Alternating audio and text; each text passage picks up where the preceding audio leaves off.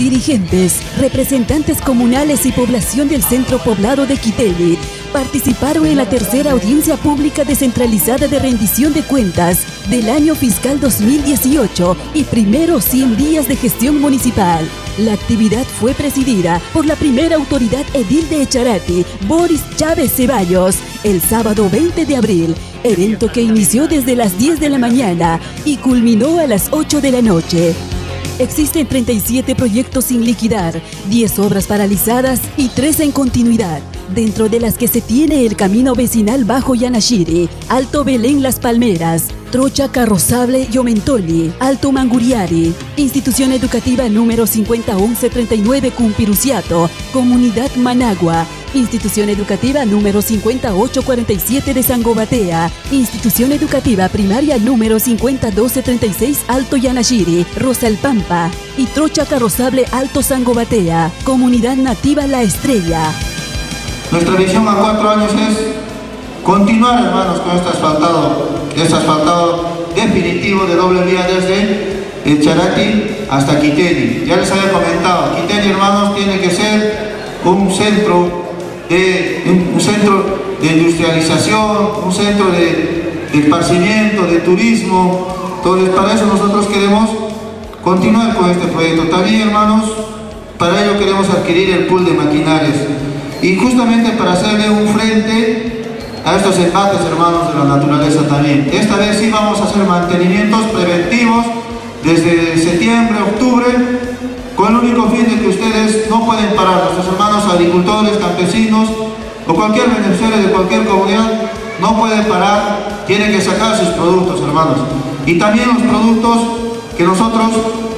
yo igual como agricultor como ustedes, tenemos que sacar, no solo a este mercado de la Convención Cusco, también queremos sacar por este lado a la capital, hermanos, a Lima. Y para eso también, la semana pasada estuve hablando con el ingeniero Julio Palacios de Transportes, que se han gestionado, hermanos, 16 puentes desde Mayo, que está en Palmaral, aquí estuvimos en progreso, también ya está en la elaboración del estudio. Y a más tarde, hermanos, para julio se estará lanzando un proceso de licitación, se está haciendo un convenio con el Ministerio de Transportes mientras que las obras por reiniciar son Carretera Alto Confortayo, Fundo Nuevo Paraíso, Carretera Yanashiri Alto Canán, Carretera Cochirelli, Selva Alegre y por iniciar Camino Vecinal en el sector de Camonashari, Alto Camonashari, Institución Educativa 501217 de Corimani Prometida en el sector Bajo Corimani y la gestión de 16 puentes modulares con provías descentralizado. Creo que la evaluación de la, de la, información de los 100 días creo que ha sido con transparencia, con claridad.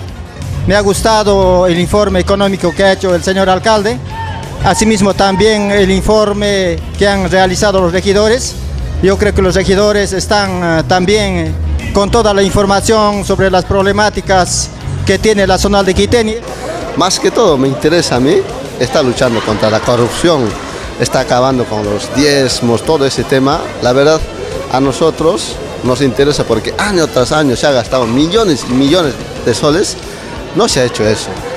Dios quiera, ojalá que el señor alcalde siga así, de verdad, y el pueblo estamos para respaldarle. Nosotros somos eh, tolerantes, entendemos. Hoy en día ya no somos personas de repente caprichosos, sabemos entender, pero sí lo que nosotros siempre exigimos que haya el trabajo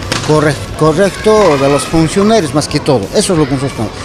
Entonces, que siga nuestro señor alcalde prácticamente manteniendo esta posición que tiene, tanto sí, tiene prácticamente que alguien que les puede interromper, quieren, quieren hacerle algunos problemas, pero no lo van a lograr mientras que el pueblo que estemos unidos junto a él, porque nosotros estamos dispuestos para apoyar, en cual, porque nosotros hemos puesto a él y no lo, no lo dejaremos que esos compañeros de, mala intención que lo maltraten a nuestro alcalde. Seguiremos para adelante en los proyectos productivos se continúa con los Pro Compite como Roya Amarilla del Cafeto, cadena de valor en cultivo de café en las cinco zonales y en medio ambiente, con la reforestación en cinco sectores de margen derecha del río Alto Urubamba, reforestación en las comunidades de Agua Dulce, Cochireli, Progreso, Duchicela, Cirialo y Santoato, reforestación y gestión en la margen derecha de la microcuenca del río Sangomatea.